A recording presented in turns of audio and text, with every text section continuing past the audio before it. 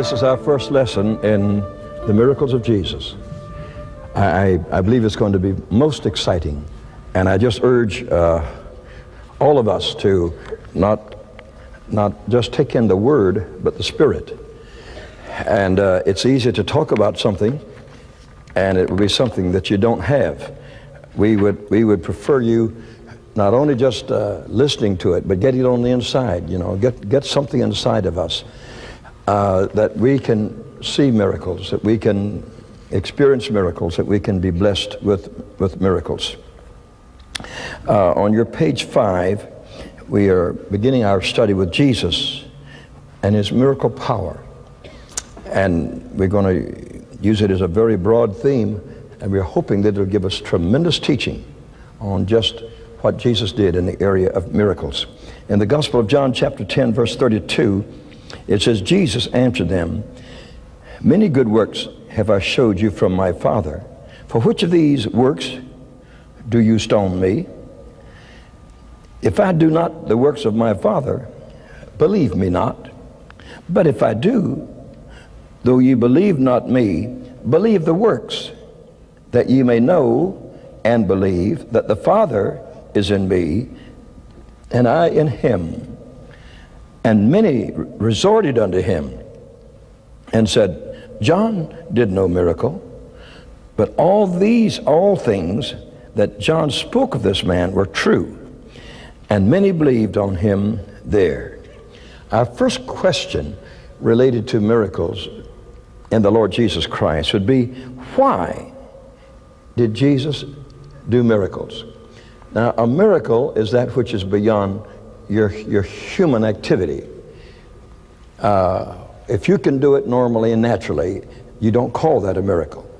Now, an animal might call that a miracle, you know, a dog might call it a miracle, or a cow might call it a miracle, but you don't call it a miracle if you can do it naturally. So when we speak of miracles, we speak of that above and beyond our normal and natural operations. And, and that's what we call a miracle. Why did Jesus do miracles? Jesus taught spiritual lessons through his miracles. I wouldn't want to say that was the number one reason, but we'll get to other reasons of it. But when he helped Peter bring in a miraculous catch of fish, he also taught the disciples about the successes they would have as fishers of men. So he was doing a dual thing. He was not showing them only the miracle of the catch, but he was showing them the miracle of catching men for God because he told them to go and to be fishers of men. In Luke chapter 5, verse 4, it says, And when he had left speaking, he said to Simon, Launch out into the deep and let down your nets for a draught. Simon answering said, Master, we have toiled all the night and have taken nothing, but, or nevertheless, at your word, I will let down the net. And when he had done this, they enclosed a great multitude of fishes in their nets. And, and they beckoned unto their partners, which were in the other ship, that they should come and help them. And they came and filled both the ships. That was the miracle. So that they began to sink. Now, now, if you're a fisherman get too many fish, it's very interesting. It'd be very hard for a fisherman to get too many fish. Uh, when, when Simon Peter saw it, he fell down at Jesus' knees, saying, Depart from me, I am a sinful man. For he was astonished and all that were with him as a draught of fishes which they had taken. And so was also uh, James and John, the sons of Zebedee, which were partners with Simon.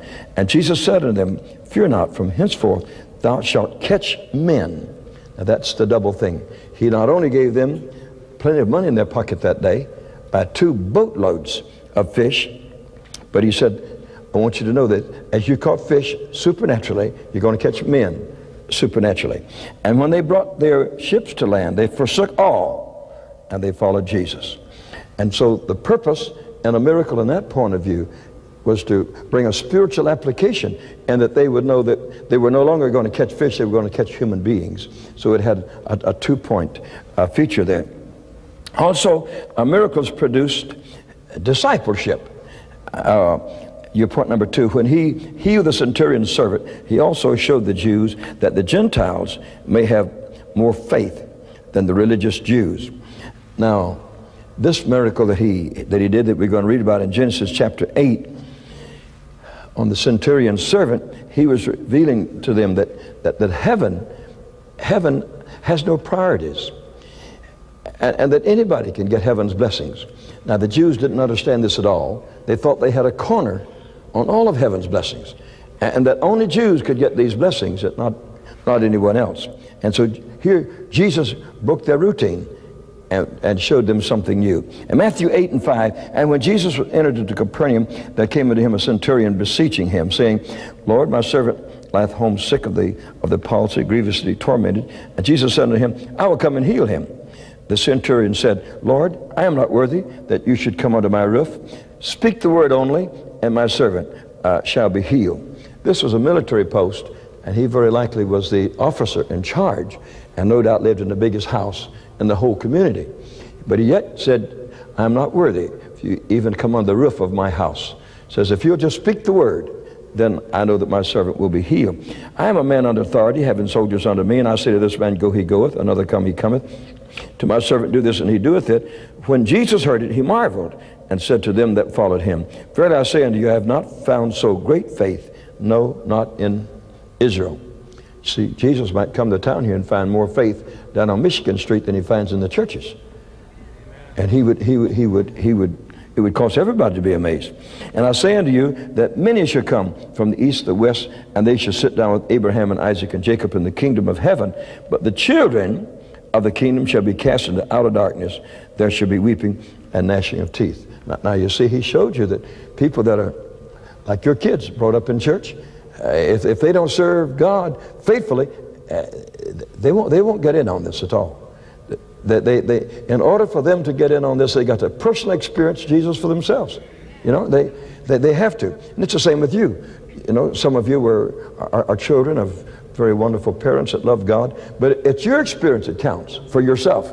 You thank God, you know, for the experience of your parents, but it's your personal experience that means a lot to you. And God wants you to have those good experiences. Can you say amen? All right. Now, I'm giving you purposes for which Jesus healed. Now, I wouldn't say they're primary purposes, but they're only purposes that we can see. In this miracle, he was showing everybody that he had not come to bless Jews, he had come to bless humanity. God loved the world and gave his son. He didn't love any certain tribe of people. Also, when Jesus healed the man with a withered hand, uh, he taught the observers concerning the errors about the Sabbath. So not, not only here was he dealing with the healing, he was dealing with the doctrine at the same time, showing you purposes why Jesus healed. In Matthew 12 and 10, there was a man which, which had a hand withered, and he asked him, saying, Is it lawful to heal on the Sabbath day? That they might accuse him. And he said to them, What man shall there be among you that one of his sheep, if he fall into a pit on the Sabbath day, will he not lay hold and take him out?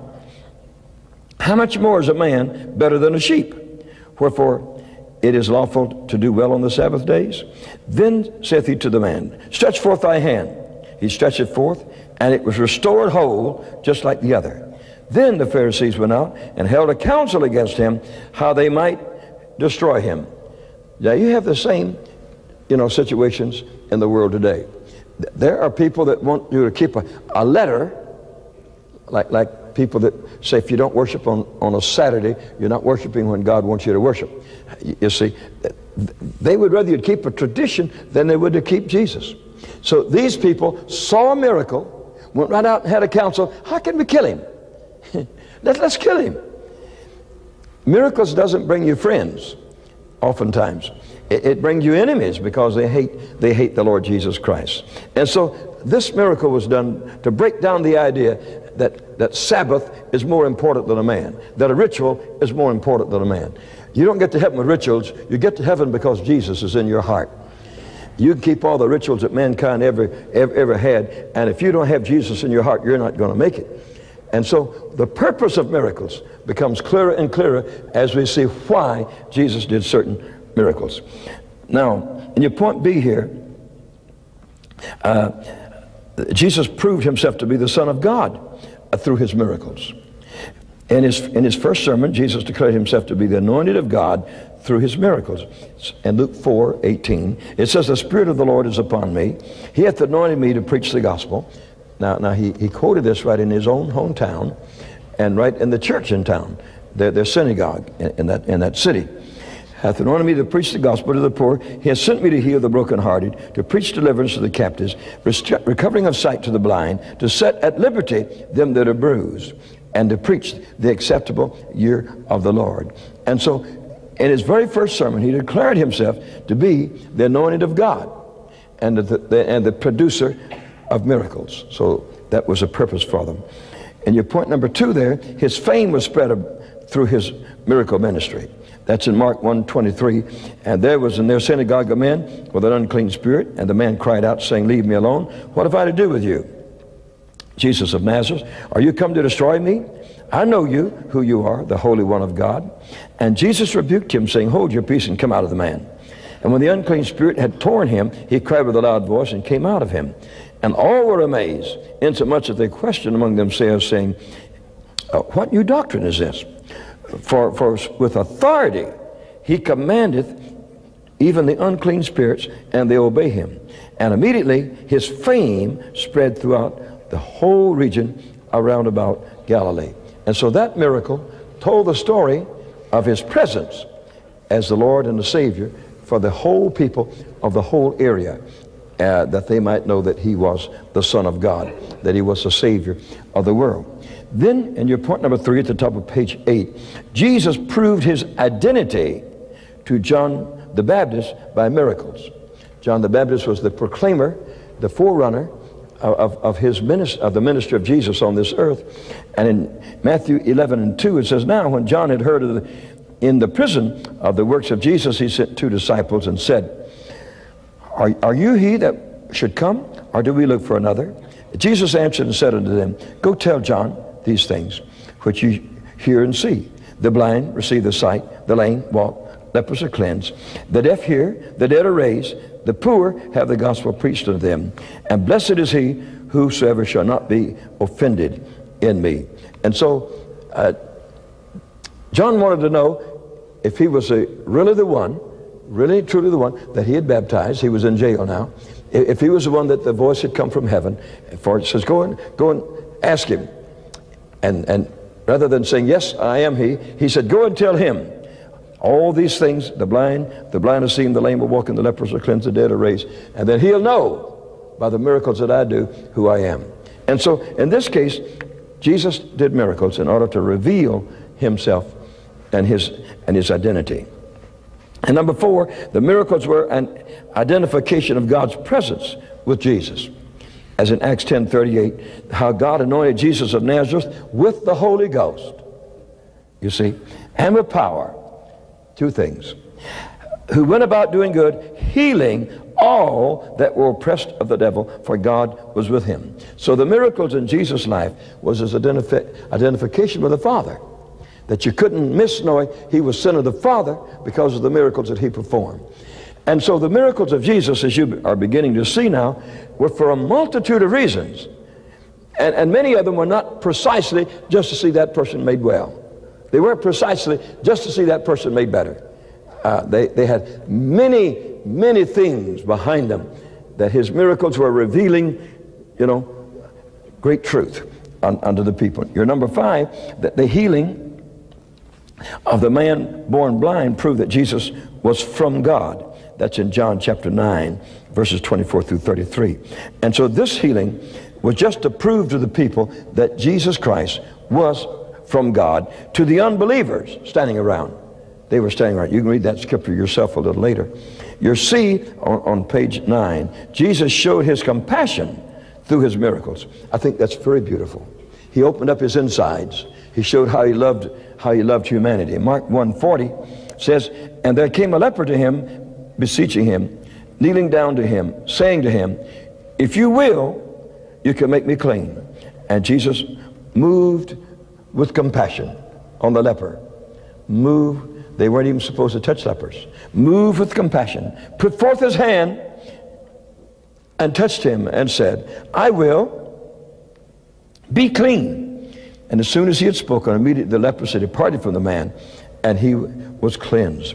And so there's another purpose and another reason why Jesus healed, he showed his compassion and his love for humanity as he was doing so. Through miracles, Jesus proved that the kingdom of God was triumphing over the kingdom of Satan. That's a great one, isn't it? And it was through miracles that he showed that the kingdom of God was stronger than the devil. And it's the same today. If we want to show the world who we are, we're going to have to get into, into the world of miracles. A dead church doesn't influence anybody. And dead, dead theology, it doesn't influence anybody. What influences people is the power of the Most High God. That when the power of God is, is shown and the power of God is revealed, then, then you're going to have miracles. You're going to have miracles, you see. And, and then miracles will change people's minds. In many cases, multitudes of people are saved when they see a miracle. And, and we're believing God in this nation that there shall be miracles in high places that will cause many millions of Americans to come to the Lord Jesus Christ. Can you say amen?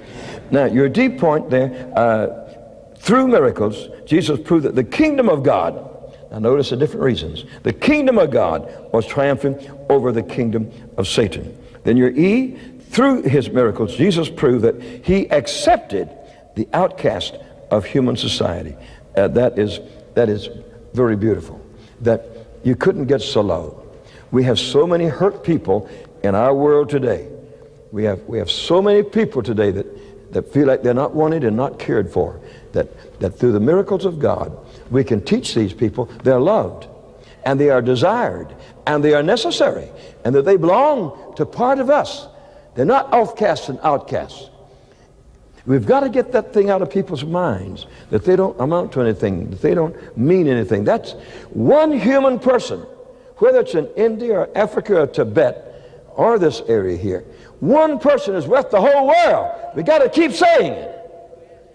You know, we've got to keep saying it. We just got to let people know that we believe in the dignity of the human person and the immortality of a human person that they're going to live forever and they are important. And all the people said, all right.